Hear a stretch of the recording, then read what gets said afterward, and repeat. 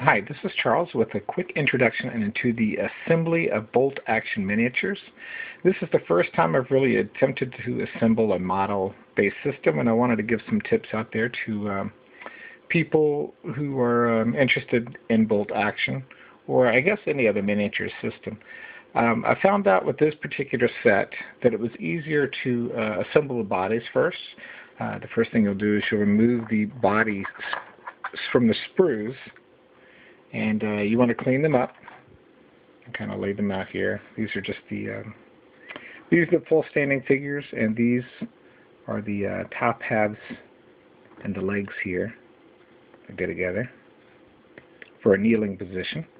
And then uh, I assemble them into this manner. The next thing that I'll do, uh, just because all the bases are pretty much the same with the round portion and the standing figures. And this allows me to kind of pick a configuration that I want to do um, as far as when I build my squads and stuff like that. So the next thing I want to do is build my squads inside of a program called BattleScribe, uh, which once you get the roster loaded, which isn't too hard at all, um, it gives you an idea of how to build a squad. And you take a look at the rules and you decide how you want to break your units down as far as building NCOs and their accompanying rifles and different teams and things like that.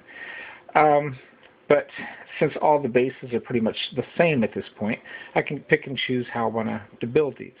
Uh, another thing you do want to do is do not remove these sprues because they're all matched up in pairs. So uh, you'll look at the accompanying sheet, which will tell you um, which one is the standing position, which one's for MG42s, uh, which ones are for uh, BARs, and different um, different types of weaponry that you have there. And you'll pick two of those matching uh, the, the sheet and then attach those to the figures um, as such, um, holding the guns that you want them to build. So since you are using a super glue type material, um, this is not super glue, but this is a highly recommended. I broke my tip off. That's why it looks so weird. But this is like a very good super glue that kind of ad adheres the, the plastic to the plastic. Then you'll assemble, um, you know, I would suggest just breaking them down. So I want four rifles, and then I'm going to take four rifles out and lay one rifle down next to each one, like so. And then I'm going to pull the arms off for each different position that I want. So you'll notice some of these are in the firing position, some of them are in a standing or an aiming position, and you can tilt them up or down uh, in different types of formats too. Um, let's see if I can pull this other one out real quick to uh, show different positions on the battlefield.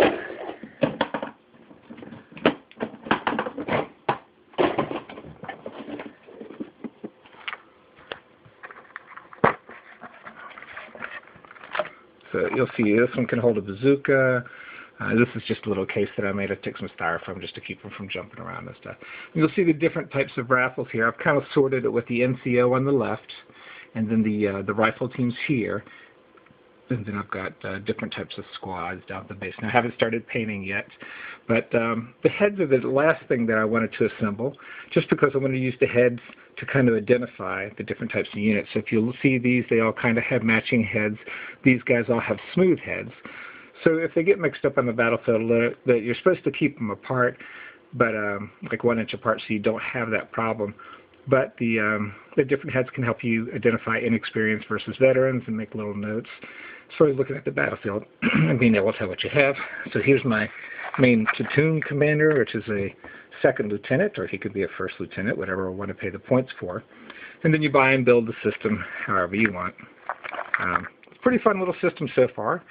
Uh, as you probably know, it works off a dice mechanic where you draw either a green or a gray and it activates either the Germans or Americans. Then you use that dice to order the different squads.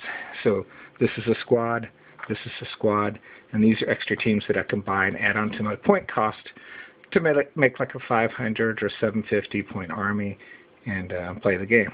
So just wanted to uh, tell everybody I made the mistake of taking all these arms off.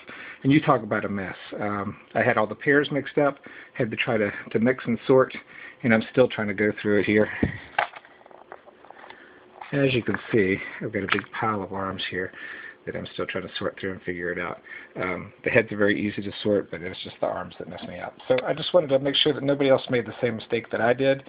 And uh, make sure to clean up the arms and such with a nice X-Acto knife um, before you attach them.